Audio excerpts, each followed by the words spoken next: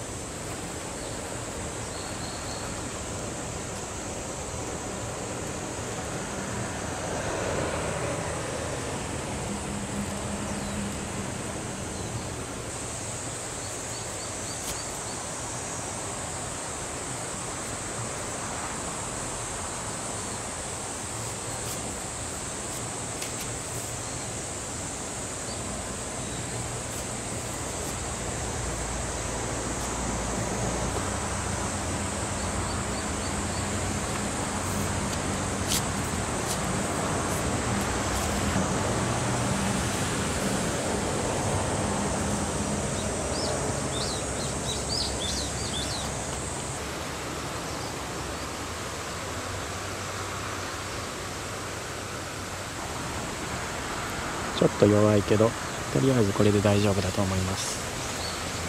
この辺ちっちゃいオクラができてるからもうちょっとしたらオクラがいっぱい取れ出すと思います。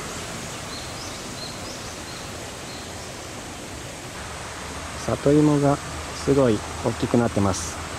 やっぱ里芋は水が好きみたいで雨が続いてるからすごい大きく育ちがいいです。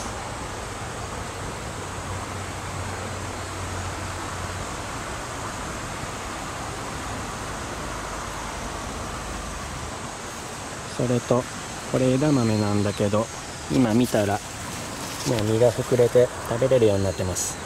これ今日食べる分だけ取って持って帰ってビール飲もうかなと思います。ちょっとすごいいっぱいあるんだけど。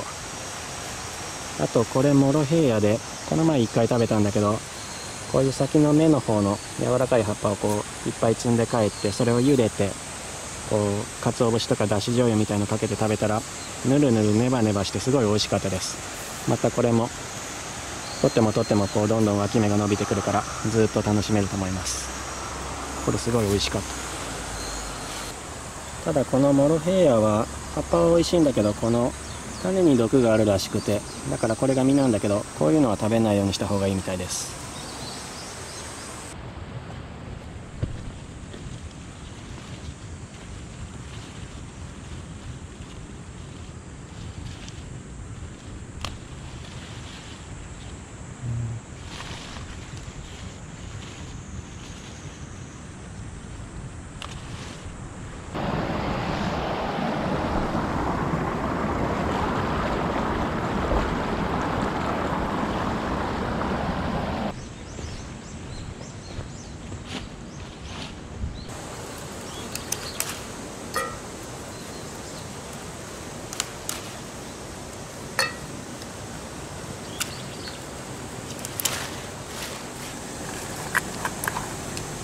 これぐらい。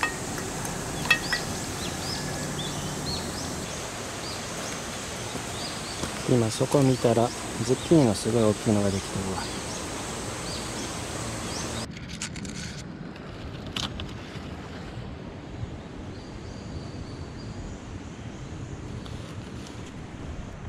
これピーマンすごい。しばらく見なかったから。すごい肉厚。これは伏見山長っていうやつ。辛くない。ししとうというかピーマンというか。ちょっと種は取り除きにくいというかこう入ってるんだけど美味しいです。ちょっとナスが。これとか。ちょっとテントウムシが肌小さいうちにかじって肌荒れしてるんだけど。でもぽつりぽつりはなってきます。あとミニトマトがちょっとカラスがつついたのと雨で割れちゃってるけど割れてないやつとかあるから。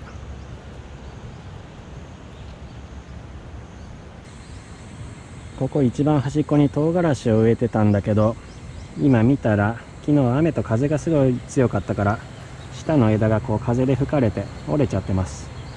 実がすごいいっぱいついてるんだけど今試しにこの緑のはどうなのかなと思って1個緑色のやつかじってみたら緑でもめちゃくちゃ辛いです。これ昨日折れたやつだからもったいないから持って帰ろう。持って帰ってこれをこうみじん切りで刻んでひき肉とニンニクとかと炒めたらピリ辛のそぼろみたいのができて多分めちゃくちゃうまいと思います。ご飯に合わせて。これ料理しよう。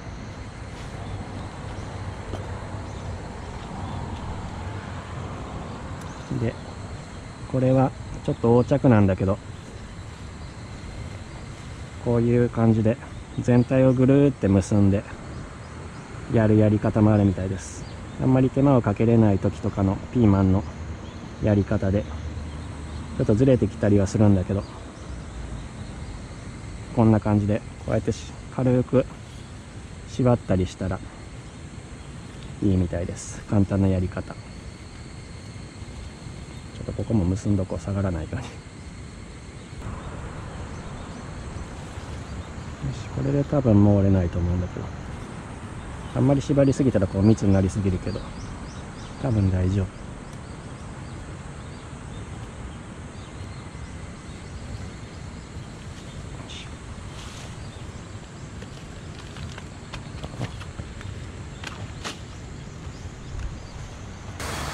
これが今日の収穫です。枝豆は今から帰って茹でてビール飲もう。あと偶然だけどこの緑の鷹の爪っていうのをあんまり食べたことないしこれそぼろに刻んでやったら絶対美味しいと思います。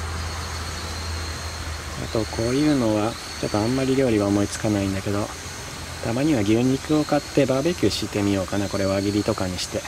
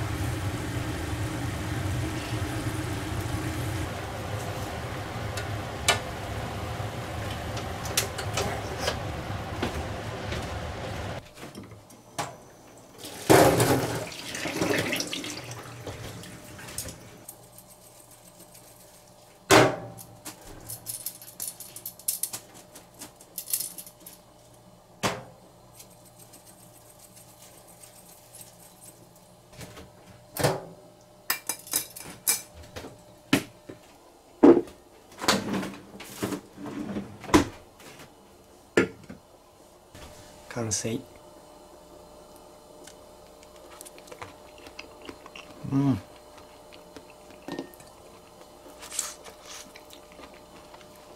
やっぱなんか風味が違う。美味しい。プリッとしてるというか。うん。